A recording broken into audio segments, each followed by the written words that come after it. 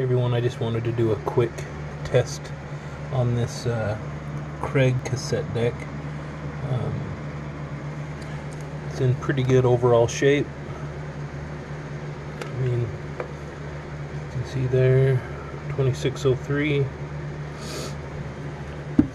Um, it does have some bare wires there on the auxiliary and ear that just coming out to nothing. Um, does have a mic. You can see really cool little mic that does work. I did test it.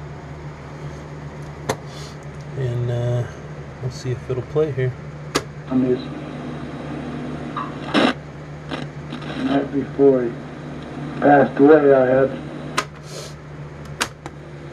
does rewind, fast forward, and uh, if you plug in the mic here,